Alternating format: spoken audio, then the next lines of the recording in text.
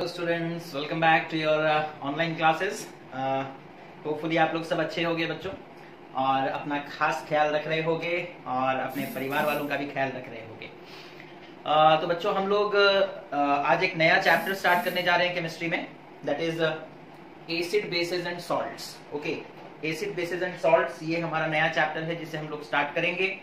Uh, उससे पहले मैं थोड़ा कैमरा एडजस्ट कर लेता हूँ. कैमरा शायद थोड़ा वाइब्रेशन की वजह से हिल गया।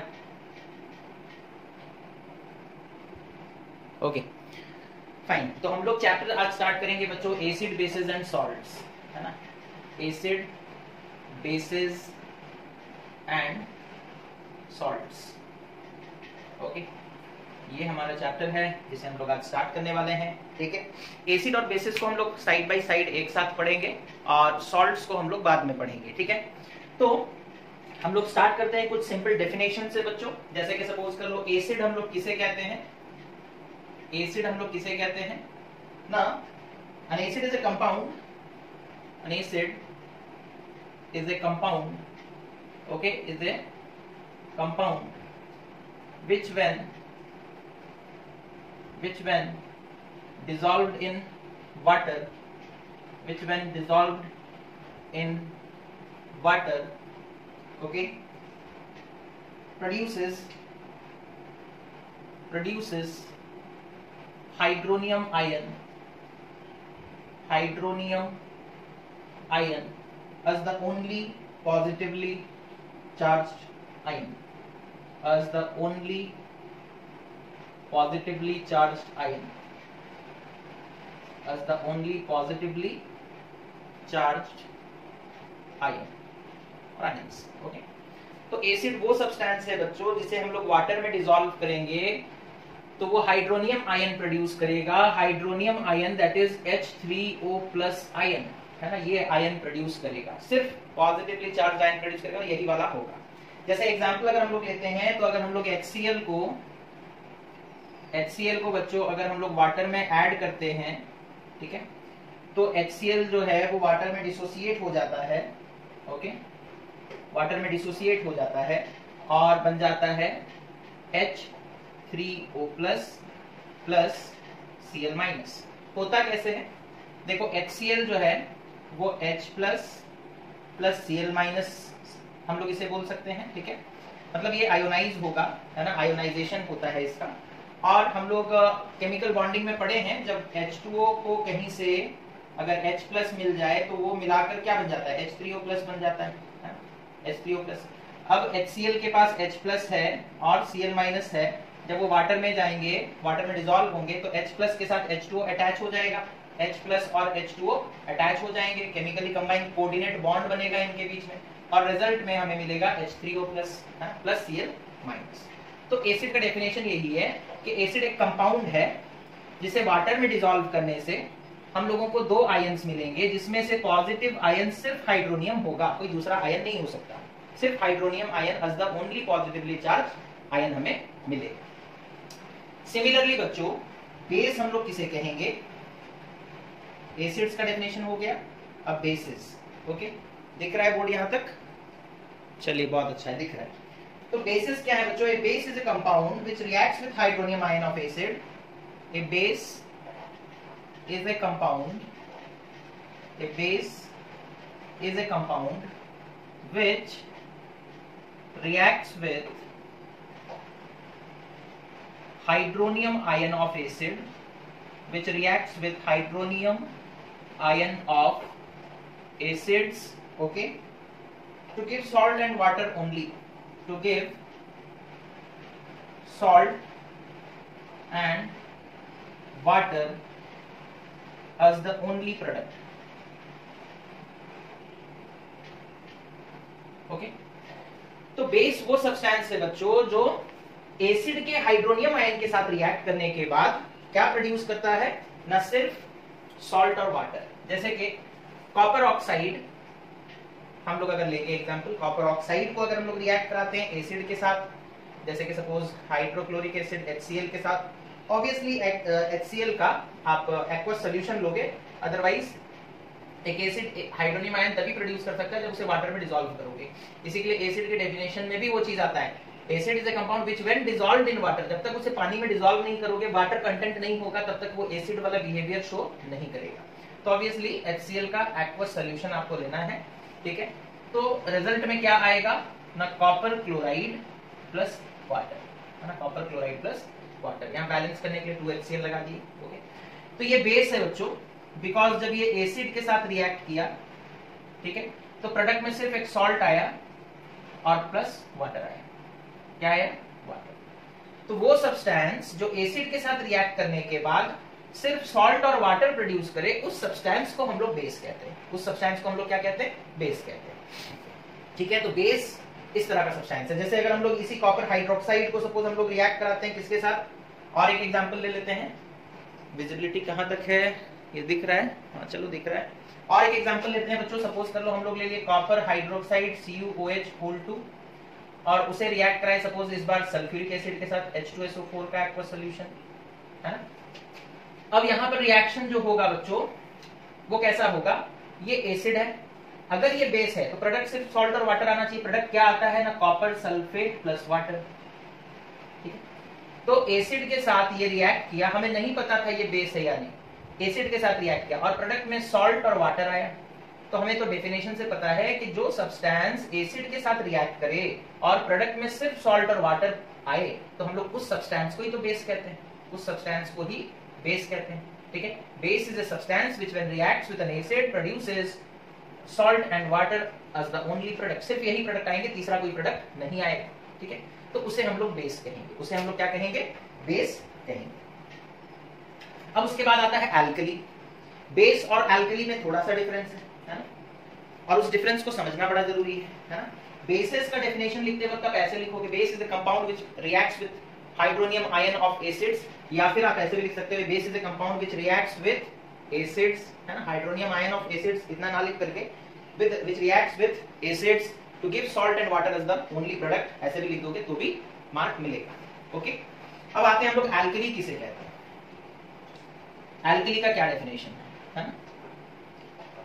तो वो bases those bases which when dissolved in water produces hydroxyl ion are known as alkalis okay?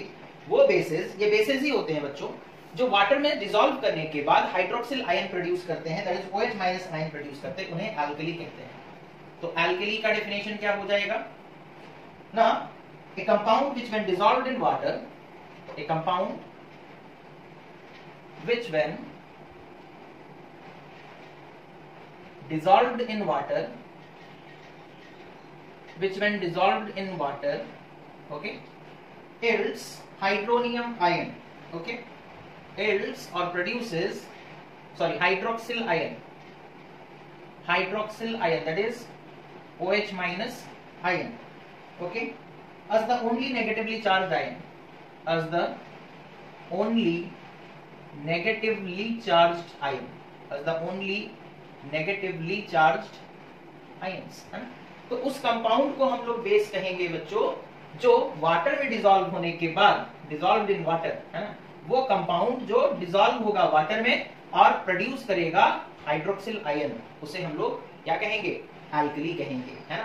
तो alkalis are water soluble bases water soluble bases okay so all alkalis are bases जितने भी alkalis हैं वो bases ही हैं।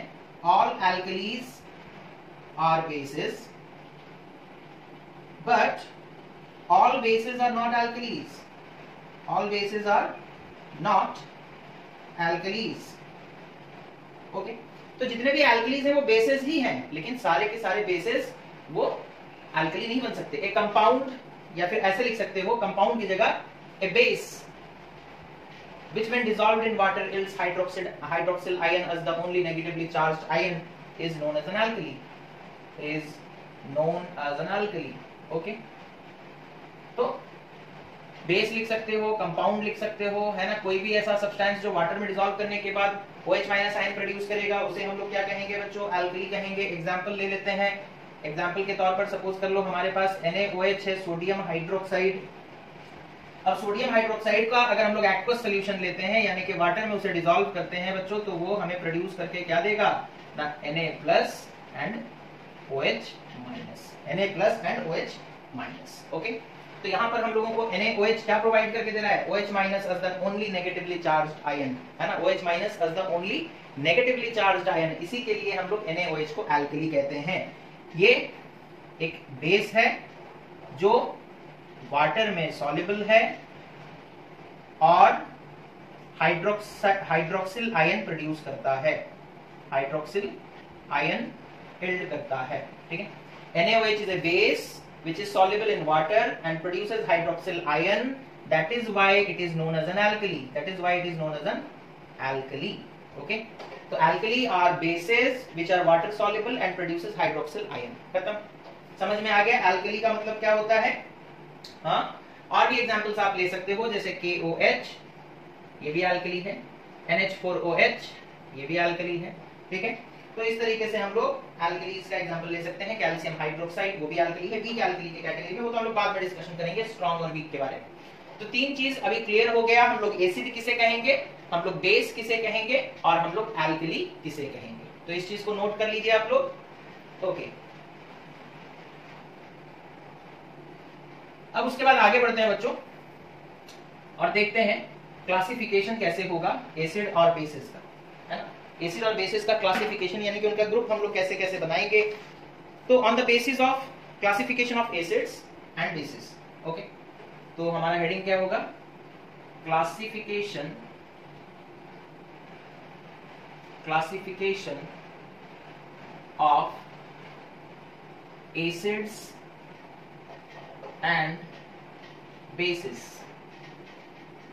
okay तो देखो classification अलग अलग तरीके से किया जा सकता है on the basis of source source के आधार पर अगर हम लोग बात करेंगे, ठीक है? On the basis of source कहाँ से हमें मिला? On the basis of source ठीक है? On the basis of source अगर हम लोग बात करते हैं बच्चों तो एसिड्स जो होते हैं वो दो तरह के होते हैं, ठीक है? एसिड्स दो तरह के होते हैं। एक होता है ऑर्गेनिक एसिड, ऑर्गेनिक एसिड्स और दूसरा होता है इनऑर्गेनिक एसिड्स है ना?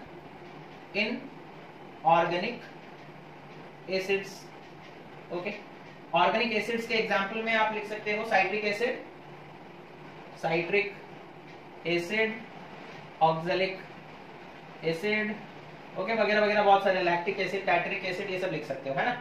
इनऑर्गेनिक एसिड जो है वो मिनरल से बनाए जाते हैं, ठीक है? मिनरल से डिराइव किए जाते हैं। ओके मिनरल डिराइव्ड एसिड्स अच्छा ये कहाँ से मिलते हैं हमें? Organic acid from plants and animals from plants and animals आजकल तो हम लोग लैब में भी प्रिपेयर कर लेते हैं, लेकिन स्टार्टिंग में इनका सोर्स कहाँ था? हमें ऑर्गेनिक एसिड्स कहाँ मिलते थे? ना प्लांट्स और एनिमल्स में मिलते थे, है ना? इनऑर्गेनिक एसिड हमें मिनरल से मिलते हैं। These are mineral mineral derived acids okay example हम लोग दे सकते हैं that is H2SO4 that is sulphuric acid HCl that is hydrochloric acid HNO3 that is nitric acid etcetera ठीक है? कार्बोनिक एसिड भी इसी कैटेगरी में आएगा मिनरल एसिड ओके तो ये हो गया सोर्स कहाँ से हमें एसिड मिल रहा है? उस आधार पर एसिड दो कैटेगरी में बांटे जाते हैं that is organic and inorganic okay उसके बाद on the basis of molecular composition of acid on the basis of molecular composition ठीक है? जो मॉलिक्यूल्स है उनमें क्या क्या प्रेजेंट है उसके आधार पर अगर हम लोग देखेंगे तो एसिड्स कितने तरह के हैं, फिर वो देख लेते हैं। ठीक है? तो बेसिकली दो तरह के यहाँ पर भी होते हैं hydra acids and oxy acids hydra acids okay hydra acids and oxy acids okay hydra acids and दूसरा होता है ऑक्सी एसिड्स हाइड्रा एसिड्स मतलब ऐसा एसिड जिसमें हाइड्रोजन हो, प्लस एक नॉन मेटल हो अदर देन ऑक्सीजन ठीक है? अदर देन ऑक्सीजन जैसे कि हाइड्रोजन हो, साथ में एक नॉन मेटल हो, और वो नॉन मेटल ऑक्सीजन नहीं होना चाहिए। जैसे कि एग्जांपल हम लोग लेंगे H C L H B R H F H I that is hydrochloric acid hydrobromic acid hydrofluoric acid hydroiodic acid okay तो ये सब एग्ज़ाम्पल हो गए हाइड्रा एसिड्स यानी कि वो किससे बने होंगे? हाइड्रोजन और एक नॉन मेटल जो कि ऑक्सीजन नहीं होना चाहिए, ठीक है? फिर उसके बाद ऑक्सी ऑक्सी एसिड्स कौन है? ना, इसमें हाई वो एसिड्स जिसमें हाइड्रोजन प्रेजेंट हो प्लस एक नॉन मेटल प्रेजेंट हो नॉन मेटल प्लस ऑक्सीजन हो प्लस कौन हो? ऑक्सीजन हो। तो ऑब्वियसली ऑक्सीजन खुद एक नॉन मेटल है। तो ऑक्सीजन को छोड़कर कोई दूसरा नॉन मेटल प्रेजेंट होना चाहिए प्लस हाइड्रोजन प्रेजेंट होना चाहिए। जैसे कि एग्ज़ाम्पल के तौर पर एग्ज़ाम्पल अगर हम लोग लेंगे H NO three H two SO four H two CO three okay ये सब ऑक्सी एसिड्स के कैटेगरी में चले जाएँगे। हाइड्रोजन है नॉन मेटल है ऑक्सीजन है। हाइड्रोजन है, एक नॉन मेटल है ऑक्सीजन है। हाइड्रोजन नॉन मेटल ऑक्सीजन तो ये हो गए ऑक्सी एसिड्स ओके इतना तक समझ में आ गया? तो on the basis of source acids दो कैटेगरी के बनाए जा सकते हैं that is organic and inorganic on the basis of molecular composition उनका जो कॉम्पोजिशन है, उसके आधार पर देखेंगे तो hydra acids and oxy acids कितने चीज़ों को नोट कर लो? Okay okay. अब हम लोग आगे बढ़ते हैं। ये हो गया खत्म, बच्चों। ठीक।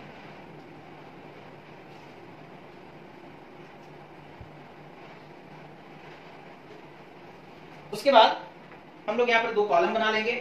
एक, और ये जो तीसरा क्लासिफिकेशन होगा, दो क्लासिफिकेशन हो चुका है। जो तीसरा क्लासिफिकेशन होगा, वो होगा on the basis of on the basis of strength of acids and bases on the basis of strength of acids and bases okay तो यहाँ पर हम लोग दो कॉलम बना लेंगे। एक तरफ़ लिख देते हैं एसिड्स और दूसरी तरफ़ लिख देते हैं बेसिस ठीक है? Acids and bases okay on the basis of strength of an acid okay तो सब uh, सबसे पहला चीज़ है कि स्ट्रेंथ जो है वो डिपेंड किस पे करता है है ना? स्ट्रेंथ ऑफ़ एन एसिड और base strength of an acid और बेस वो किस पे डिपेंड करता है? तो सबसे पहला पॉइंट लिखेंगे स्ट्रेंथ किस पे डिपेंड करता है? ठीक है? स्ट्रेंथ का मतलब क्या होता है बच्चों? Now, depends on the concentration of hydronium ion, depends on the concentration of hydronium ion that is H3O plus ion okay? Present in an aqueous solution. Present in an aqueous solution okay? तो strength of an acid का मतलब है depend वो किस पे depend करता है ना? Concentration of H3O plus ion ठीक है? एग्जांपल हम लोग लेते हैं समझने के लिए। आ, जैसे सपोज़ कर लो हम बोल रहे हैं कि हम एक एसिड लिए हैं। सपोज़ जैसे कि HCl है ना? और एक एसिड लिए हैं सपोज़ कर लो H2CO3 ठीक है? या फिर इधर ले लेते हैं H2SO4 ठीक है? अब इसके भी 100 मॉलिक्यूल्स लिए और इसके भी 100 मॉलिक्यूल्स लिए और दोनों का एक्वस सोल्यूशन लिए। क्या लिए? एक्वस सोल्यूशन ठीक है? अब देखो बच्चों, होगा क्या? ना, हम लोग 100 मॉलिक्यूल्स H2SO4 के लिए हैं, ठीक है? H2SO4 का एक मॉलिक्यूल देख लो, अगर वो डिसोसिएट करता है तो 2H plus plus SO4 2 minus produce करेगा। कितने कितने हाइड्रोजन है वो इंपॉर्टेंट नहीं है, कितने रिमूवेबल हाइड्रोजन है वो इंपॉर्टेंट है। तो H2SO4 में दोनों हाइड्रोजन 2H प्लस आयन बन जाते हैं, ठीक है? और अगर इनका एक्वस सोल्यूशन लोगे तो 2H3O प्लस आयन बनेंगे, ठीक है? यानी कि एक मॉलिक्यूल से हमें दो हाइड्रोनियम आयन मिलते हैं, है ना? H2SO4 के एक मॉलिक्यूल से हमें दो हाइड्रोनियम आयन मिलते हैं, मिलने चाहिए, ठीक है? और होता भी कुछ ऐसा ही है बच्चों H2SO4 को जब हम लोग डिसोसिएट करते हैं वाटर में, यानी कि उसका जब एक्वस सोल्यूशन लेते हैं 100 लिए हो, एक से दो मिलने चाहिए 100 से 200 मिलने चाहिए, है ना? अगर एक H2SO4 डिसोसिएट होता है तो उससे हमें दो हाइड्रोनियम आयंस मिलने चाहिए। तो 100 से कितने मिलने चाहिए? 200 मान लो 200 नहीं मिले, हम लोगों को कितना मिला? 180 H3O प्लस आयन मिला। ठीक है? प्लस SO4 कितना मिला? सपोज़ कर लो 90 SO4 2 माइनस आयंस मिला। मतलब हम लोग 100 जो H2SO4 के आयंस लिए थे, उसमें से 90 मॉलिक्यूल्स जो है वो डिसोसिएट हो गए, है ना? देखो 90 मॉलिक्यूल्स अगर H2SO4 के डिसोसिएट होते हैं तो वो हमें कितना प्रोवाइड करता है? अगर कंप्लीट डिसोसिएशन होता तो 180 H3O plus plus 90 SO4 2 minus है ना? अगर 90 H2SO4 के आयंस पूरा डिसोसिएट हो जाते हैं आयंस में तो ये बनता है। लेकिन 100 लिए 100 में से 90 डिसोसिएट के यानी कि अभी भी 10 मॉलिक्यूल्स H2SO4 के आकार में ही है। हम तो ये बस एक एग्जांपल दे रहे हैं। हालाँकि H2SO4 एक स्ट्रॉन्ग एसिड है, वो 10 मॉलिक्यूल भी नहीं रहते कंप्लीट डिसोसिएशन हो जाता है। कंप्लीट डिसोसिएशन हो जाता है। उसी जगह पर अगर हम लोग H2CO3 को देखेंगे बच्चों H2CO3 का बिहेवियर कैसा? ये हम अपने मन से नहीं कह रहे, ये हम लोग प्रैक्टिकली ऑब्ज़र्व किए हैं, ठीक है? वही ऑब्जर्वेशन हम आपको बता रहे हैं। तो जब हम लोग 100 मॉलिक्यूल्स H2CO3 के लेते हैं बच्चों, इसमें से सपोज़ कर लो 100 से 200 H3O प्लस आयंस बनने चाहिए। लेकिन बने सपोज़ कर लो कितना? ना सपोज़ कर लो 40 H3O प्लस आयंस बने प्लस 20 CO3 2 माइनस आयंस बने और बाकी के मॉलिक्यूल्स वैसे ही रह गए, वो आयोनाइज नहीं हो पाए, यानी कि 80 H2CO3 वैसे का वैसे ही रह गया। हंड्रेड हम लोग मॉलिक्यूल्स लिए थे H2CO3 के। उसमें से 80 मॉलिक्यूल्स डिसोसिएट नहीं हुए, सिर्फ़ 20 हुए। 20 में से 40 H3O प्लस निकला और 20 कार्बोनेट का आयन निकला। तो अब अब यहाँ पर देखो कि कौन ज़्यादा डिसोसिएट हो रहा है? कंसंट्रेशन किसका ज़्यादा है? है ना? तो हम लोग देखेंगे कि H2SO4 का जो आयन प्रोड्यूस करने का कंसंट्रेशन है वो काफ़ी ज़्यादा है है ना? तो स्ट्रेंथ हम लोग उसी के आधार पर नापते हैं बच्चों कि कौन कितना ज़्यादा कंसंट्रेशन प्रोड्यूस कर रहा है हाइड्रोनियम आयन का हाइड्रोनियम आयन का। बेस में भी सिमिलरली हाइड्रोक्सिल आयन का। तो स्ट्रेंथ किस पे डिपेंड करता है बच्चों? ना? Depends on the concentration of hydronium ion present in an aqueous solution of an acid, of an acid okay उसी तरीके से स्ट्रेंथ बेस का किस पे डिपेंड करता है? बेस का स्ट्रेंथ किस पे डिपेंड करता है? It depends on the concentration of hydroxyl ion depends on the concentration of O H minus ions present in an aqueous solution in an aqueous solution of an alkali. Of an alkali. Okay. तो ये क्या है? Strength of alkali है ना? Strength of alkali okay तो इस तरीके से हम लोग स्ट्रेंथ मेजर करते हैं बच्चों। उसके बाद स्ट्रॉन्ग एसिड हम किसे कहेंगे? अब आप समझ गए होंगे स्ट्रॉन्ग एसिड हम किसे कहने वाले हैं है ना? Strong acid is an acid which dissociates almost completely strong acid हम लोग किसे कहेंगे? Strong acid is an acid which dissociates which dissociates okay almost completely almost completely to produce high concentration of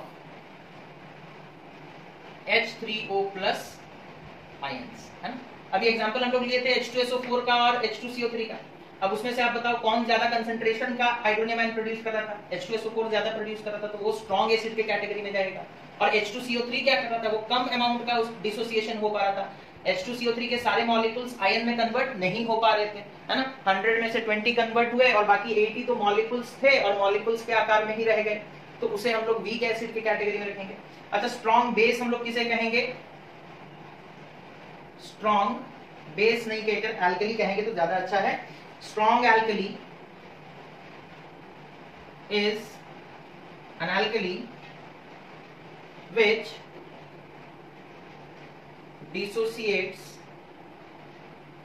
almost completely almost completely to produce to produce high concentration of high concentration of OH minus ions है ना to produce high concentration of OH minus ion तो उन्हें हम लोग strong alkali कहेंगे example लिख सकते हो बच्चों एग्ज़ाम्पल में हम लोग स्ट्रॉन्ग एसिड का एग्ज़ाम्पल देंगे तो HCl H2SO4 HNO3 ठीक है HNO3 ओके और दूसरी तरफ़ हम लोग अगर स्ट्रॉन्ग uh, एल्कली का एग्जांपल देंगे तो sodium hydroxide potassium hydroxide lithium hydroxide इन सबको एग्जांपल दे सकते हैं। ठीक है?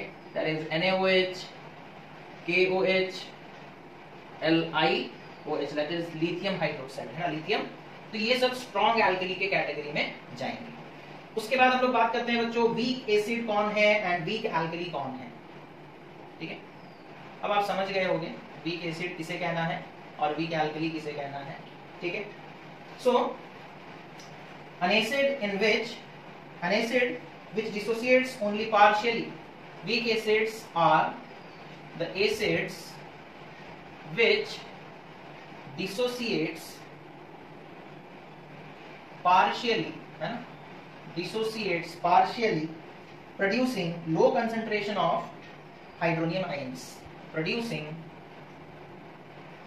dissociates partially in water okay producing low concentration of low concentration of H3O plus ions है ना तो वीक एसिड्स वो एसिड्स हैं बच्चों जैसे H2CO3 के केस में हम लोग देखे थे हम लोग 100 मॉलिक्यूल्स लिए 100 में से सिर्फ़ 20 डिसोसिएट हुए बाकी 80 मॉलिक्यूल्स तो डिसोसिएट हुआ ही नहीं तो अगर 80 मॉलिक्यूल्स डिसोसिएट नहीं होंगे, सिर्फ़ 20 मॉलिक्यूल्स डिसोसिएट होगा तो जो आयंस वो लोग प्रोड्यूस करेंगे, उनका कंसंट्रेशन कम होगा। तो एग्जांपल में आप लोग लिख सकते हो, जैसे कि सपोज़ कर लो कार्बनिक एसिड दैट इज़ H2CO3 उसके बाद जितने भी ऑर्गेनिक एसिड्स हैं, वो सब वीक के कैटेगरी में जाते हैं, जैसे CH3COOH ओके C2H5COOH ओके नाम बोलोगे तो साइट्रिक एसिड लिख दो। जितने भी ऑर्गेनिक एसिड है लैक्टिक एसिड लिख दो ठीक है? ये जितने भी ऑर्गेनिक एसिड्स हैं, ये सब वीक एसिड के कैटेगरी में जाते हैं। ठीक है? उसके बाद वीक बेस हम लोग किसे कहेंगे? वीक एल्कली हम लोग किसे कहेंगे? वीक एल्कली हम लोग किसे कहेंगे? ना वो एल्कली बच्चों जो पानी में डिजोल्व होने के बाद बहुत कम मात्रा में OH माइनस आयन बनाएगा, उसे हम लोग वीक एल्कली कहेंगे, है ना? तो weak alkali are the alkalis which dissociates which dissociates partially in water producing low concentration of low concentration of OH minus ions है ना? जो कम मात्रा में OH माइनस आयंस प्रोड्यूस करेगा। एग्ज़ाम्पल अगर हम लोग लिखना चाहें तो calcium hydroxide that is CaOH whole two comma ammonium hydroxide that is NH4OH ठीक है? एक्सेट्रा तो ये एग्ज़ाम्पल हम लोग दे सकते हैं, ठीक है? तो ये हो गया बच्चों स्ट्रेंथ अब यहाँ एक चीज़ इंपॉर्टेंट है कंसंट्रेशन किसका? कंसंट्रेशन ऑफ़ आयंस है ना? कंसंट्रेशन ऑफ़ आयंस ये याद रखोगे। बिकॉज़ जब आपको कंसंट्रेटेड एसिड पूछेगा और डाइल्यूट एसिड पूछेगा तो उसका मतलब ही पूरा डिफरेंट होता है है ना? यहाँ पर जो हम लोग स्ट्रॉन्ग एसिड बोल रहे हैं, देखो जैसे सपोज़ कर लो सल्फ्रिक एसिड है है ना? सल्फ्रिक एसिड अभी हम बता रहे थे कि जब उसका एक्वा सोल्यूशन करोगे तो ऑलमोस्ट कंप्लीटली वो डिसोसिएट हो जाता है। अब, अगर आप सल्फ्रिक एसिड लेते हो, जिसमें पानी कम है तो वो कंसंट्रेटेड कहलाएगा। अब वही सल्फ्रिक एसिड, अगर आप पानी उसमें ज़्यादा मिक्स कर दोगे तो वही सल्फ्रिक एसिड, वो स्ट्रॉन्ग है, लेकिन डाइल्यूट कहलाएगा। लेकिन क्या कहलाएगा? डाइल्यूट कहलाएगा। अगर सपोज़ हम लोग कार्बनिक एसिड लेते हैं, हमें पता है कार्बनिक एसिड पार्शियली डिसोसिएट होता है और वो low concentration of H three plus ion बनाता है। तो वो वीक है। वो कैसा एसिड है? वो वीक एसिड है। लेकिन अगर हम लोग कंसंट्रेटेड और डाइल्यूट एसिड के बारे में बात करें तो कार्बनिक एसिड कंसंट्रेटेड कब कहलाएगा? कंसंट्रेटेड आयंस के कंपैरिजन में नहीं, है ना? उसमें वाटर का मात्रा अगर कम होगा, एक एसिड का सोल्यूशन है जिसमें वाटर का मात्रा कम है एसिड ज़्यादा है तो उसे कंसंट्रेटेड एसिड कह सकते कहते हैं। वो वीक भी हो सकता है स्ट्रॉन्ग भी हो सकता है। और वही कंसंट्रेटेड एसिड में अगर ज़्यादा पानी मिला दोगे तो वो डाइल्यूट कहलाएगा, है ना? तो कंसंट्रेटेड एसिड और डाइल्यूट एसिड अलग चीज़ है strong acid and weak acid ये अलग चीज़ है। तो इतना पहले आप लोग नोट डाउन कर ले। हो गया? ठीक है। अब उसके बाद हम लोग एसिड और बेसिस के क्लासिफिकेशन को थोड़ा और आगे बढ़ाते हैं। That is concentrated acid and dilute acid क्या होता है? उस चीज़ के बारे में बात करेंगे। ठीक है? तो अभी तक हम लोग क्लासिफिकेशन के बारे में ही पढ़ रहे हैं बच्चों एसिड्स और बेसिस के। तो classification of acids and bases ठीक है? On the basis of on the basis of concentration of acids and bases on the basis of concentration of acids and bases. Okay? तो ध्यान रहे, यहाँ पर कंसंट्रेशन ऑफ़ एसिड्स है और strong acid weak acid में कंसेंट्रेशन ऑफ़ आयंस होता है है ना? तो कंसंट्रेटेड एसिड जैसे कि हम लोग किसे कहेंगे? इधर एसिड लिख लिए और इधर बेस लिख लिए और एल्कली लिख लेते हैं। हम लोगों को ज़्यादा रिएक्शंस एल्कली से ही देखने बच्चों बेसिस का उतना रिएक्शन हमें नहीं देखना है है ना हालाँकि जितने भी एल्कलीज हैं वो सारे के सारे बेसिस ही होते हैं So an acid having a relatively high percentage of acid in its aqueous solution. An acid having a relatively high concentration, a relatively high concentration of acid in its aqueous solution. In its aqueous solution. Okay. उसे हम लोग is called a concentrated acid is called concentrated acid. जैसे कि हम लोग 100 ml H2SO4 लिए जिसमें 90 ml H2SO4 है और 10 ml H2O है तो ये कंसंट्रेटेड H2SO4 कहलाएगा। उसी तरीके से बच्चों, अगर हम लोग 100 ml H2CO3 लिए, ठीक है, जिसमें 90 ml H2CO3 है और 10 ml H2O है तो ये भी कंसंट्रेटेड H2CO3 कहलाएगा। लेकिन स्ट्रेंथ के हिसाब से देखेंगे तो ये स्ट्रॉन्ग है, ये वीक है। पॉइंट इस चीज़ को नोट करो। स्ट्रेंथ के हिसाब से सल्फ्रिक एसिड स्ट्रॉन्ग एसिड के कैटेगरी में जाता है और कार्बोनिक एसिड वीक एसिड के कैटेगरी में जाता है। लेकिन दोनों ही कंसंट्रेटेड एसिड हो सकते हैं। कंसंट्रेटेड एसिड बनने के लिए एसिड का मात्रा ज़्यादा होना चाहिए, पानी का मात्रा कम होना चाहिए। यहाँ पर भी वो चीज़ हम लोग पा सकते हैं।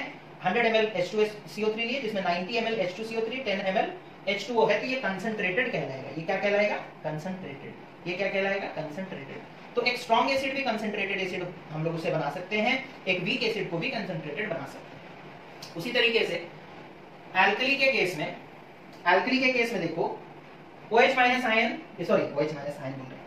कंसंट्रेशन ऑफ़ एल्कली ज़्यादा होगा in its an alkali an alkali having a relatively, okay, high concentration of, high concentration of alkali in its aqueous solution in its aqueous solution is called is called what concentrated alkali is called concentrated alkali okay जैसे suppose कर लो हम लोग 100 ml NaOH लिए जिसमें suppose कर लो 70 ml NaOH है। और सपोज़ कर लो 30 ml H2O है तो ये कंसंट्रेटेड के कैटेगरी में जाएगा, है ना? बिकॉज़ किसका मात्रा ज़्यादा है? NaOH का मात्रा ज़्यादा है मात्रा कम है? वाटर का मात्रा कम है तो ये NaOH हो जाएगा। कैसा NaOH और ये साथ ही साथ स्ट्रॉन्ग एल्कली भी है। अगर हम लोग बच्चों लेते हैं 100 ml किसका? जैसे सपोज़ कर लो NH4OH का, आपको पता है स्ट्रेंथ के हिसाब से ये वीक है। लेकिन हम लोग इसका भी कंसंट्रेटेड कंसंट्रेटेड हम लोग बना सकते हैं। जैसे सपोज़ कर लो हम लोग 80 ml NH4OH है उस सोल्यूशन में और 20 ml वाटर है। ठीक है? तो ये कैसा NH4OH है? कंसंट्रेटेड NH4OH तो होपफुली आप लोगों को ये चीज़ समझ में आ गया होगा। कंसंट्रेटेड का मतलब क्या होता है? है ना? कंसंट्रेशन और स्ट्रेंथ कंसंट्रेटेड एसिड और स्ट्रॉन्ग एसिड में डिफरेंस है। ओके कंसंट्रेटेड एल्कली और स्ट्रॉन्ग एल्कली में भी डिफरेंस है। ओके उसके बाद डाइल्यूट के बारे में बात करेंगे। Dilute acid and dilute acid ठीक है? अच्छा इस चीज़ को मिटा देते हैं। थोड़ा सा ही डेफिनेशन में चेंज होगा। यहाँ पर हाई लिखा है an acid having a relatively low concentration high की जगह अगर लो लिख दें low concentration of acid in its aqueous solution is called is called what dilute acid is called dilute acid okay उसी तरीके से an alkali having a low concentration an alkali having a low concentration is called dilute alkali in its aqueous solution, है जैसे suppose कर लो, हम लोग 100 ml H2SO4 लिए और उसमें 20 ml H2SO4 है और 80 ml H2O है तो ये डाइल्यूट कहलाएगा। ये क्या कहलाएगा? डाइल्यूट कहलाएगा। समझ में आ रहा है? उसी तरीके से अगर सपोज़ कर लो, हम लोग 100 ml NaOH लिए, जो कि एक स्ट्रॉन्ग एल्कली है, और उसमें सपोज़ कर लो 10 ml NaOH है, और बाकी दैट इज़ 90 ml H2O है। तो ये कैसा अल्कली कहलाएगा? डाइल्यूट कैसा अल्कली कहलाएगा? डाइल्यूट और ये डाइल्यूट एसिड ओके तो इस तरीके से बच्चों डाइल्यूट अल्कली और डाइल्यूट एसिड हम लोग निकाल सकते हैं। ठीक है? अच्छा। अब एग्जैक्टली exactly किसे हम लोग कंसंट्रेटेड कहेंगे और किसे हम लोग, किसे हम लोग डाइल्यूट कहेंगे, है ना? अगर सपोज़ कर लो किसी एसिड में एसिड का सोल्यूशन लिए। एसिड का सोल्यूशन एक लीटर लो और उसमें चेक करो कि एसिड वन मोल एसिड है या उससे कम है लेस देन वन मोल अगर acid less than one mole है तो वो डाइल्यूट कहलाएगा। एग्ज़ाम्पल ठीक है? जैसे कि H2SO4 का एग्ज़ाम्पल अगर हम लोग लेते हैं, बच्चों H2SO4 का। H2SO4 का वन मोल का मास कितना होता है? वन मोल का मास होता है हाइड्रोजन का हो गया टू और ये हो गया thirty two that is thirty four और ये हो गया सिक्सटी नाइनटी एट ग्राम ठीक है? वन मोल उसका मास निकाल सकते हो ना? हाइड्रोजन का मास पता है सल्फ़र का मास 32 ऑक्सीजन का 16 होता है 16 फोर जा 64 तो टोटल मास आ गया 98 ग्राम अगर हम लोग H2SO4 का H2SO4 एसिड का एक्वस सोल्यूशन लिए कितना? वन लीटर और अगर उसमें H2SO4 98 ग्राम से कम है तो वो डाइल्यूट कहलाएगा।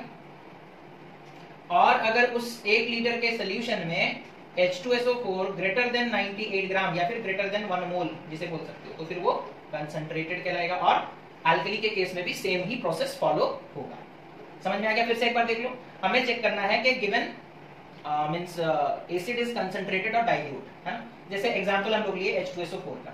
H2SO4 का सबसे पहला काम तो आपको करना है उसका मॉलिक्यूलर मास निकाल लेना है। यानी कि वन मोल का उसका मास कितना है? 98 ग्राम होता है। वन मोल H2SO4 का मास कितना होता है? 98 ग्राम मॉलिक्यूलर मास निकाल लो ग्राम में लिख दो that is the mass of one mole ठीक है? अच्छा अब आपको क्या चेक करना है कि आप एक लीटर H2SO4 का सोल्यूशन ले लो, जो आपको दिया गया है। उसमें आपको चेक करना है कि एक लीटर सोल्यूशन में अगर H2SO4 का मात्रा 98 ग्राम से कम है तो वो डाइल्यूट कहलाएगा, और 98 ग्राम से ज़्यादा है तो वो कंसंट्रेटेड कहलाएगा। समझ में आ गया? तो इस तरीके से हम लोग एसिड्स के और बेसिस एल्कलीज के कंसेंट्रेशन चेक कर सकते हैं कंसंट्रेटेड है या डाइल्यूट है। समझ में आ गया? और बाकी क्लासिफिकेशन कुछ बचा है बच्चों? दैट इज़ एसिड्स का और बेसिस का क्लासिफिकेशन दैट इज़ एसिड्स जो है वो बेसिसिटी ऑफ़ एसिड्स के हिसाब से डाइबेसिक ट्राइबेसिक ये सब हम लोगों को पढ़ना है है ना? उसके बाद आगे और भी बहुत कुछ पढ़ना है। तो धीमे धीमे हम लोगों का क्लास अब आगे बढ़ता रहेगा, है ना? एसिड बेसिस एंड सॉल्ट्स को हम लोग आगे बढ़ाते रहेंगे। और फिर उधर फिजिक्स में भी फिजिक्स में हम लोगों का लेंथ चैप्टर मतलब रिफ्रैक्शन चैप्टर चल रहा है, उसे भी हम लोग आगे बढ़ाएँगे। अल्टरनेटिवली क्लासेस चलते रहेंगे। फिजिक्स का एक बार आएगा केमिस्ट्री का एक बार आएगा, और होपफुली आप लोग कंसेप्ट के साथ ही आगे बढ़ेंगे। तो सबसे अच्छा रहेगा। समझ कर आगे बढ़ेंगे तो दिक्कत कम है। याद करके अगर आगे बढ़ोगे तो भूल जाओगे परेशानी ज़्यादा है। तो होपफुली आप लोगों को जो भी चीज़ यहाँ पर पढ़ाया जा रहा है वो समझ में आ रहा होगा। आ, तो वीडियो को देखें। जो भी डाउट्स अगर निकल कर आते हैं तो उसे व्हाट्सएप के थ्रू भेज सकते हैं। और और क्या बस इतना ही। Thank you for watching have nice day